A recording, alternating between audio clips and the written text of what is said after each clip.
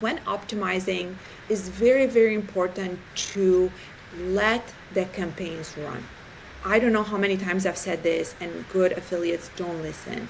They'll send 300 clicks trying to you know see how the campaign is and when they're like optimizing.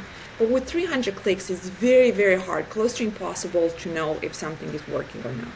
So my main advice that you can apply to ppc google ads native have a bit of patience or don't pick campaigns that if you cannot afford to let that campaign live for 24 hours it's probably not a good fit for you. But that's the number one mistake i see.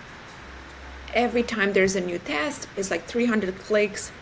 It's impossible to know. I know you think you can. I know you think from your experience as a brilliant affiliate you think you're like oh i know. This 300 clicks should have had a 0.8 it's it, we, I, from what I've seen, and I've seen a lot of traffic and a lot of spend, it's close to impossible to have a decent opinion if you don't let that ad run for 24 hours. So my number one advice that you can apply across all the different traffic sources, be patient, let that ad run for 24 hours, 48 hours, even if the spend is lower, because that's how you make an informed opinion if that lender works or if it doesn't.